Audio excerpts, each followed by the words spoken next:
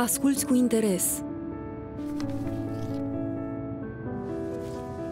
Îi vorbești și tu deschis. Chiar și atunci când îți vine greu. Asta înseamnă să pui o bază sigură pentru echilibrul emoțional al copilului tău. Oferă-i siguranța emoțională să se exprime cu încredere. O campanie a Guvernului României și UNICEF.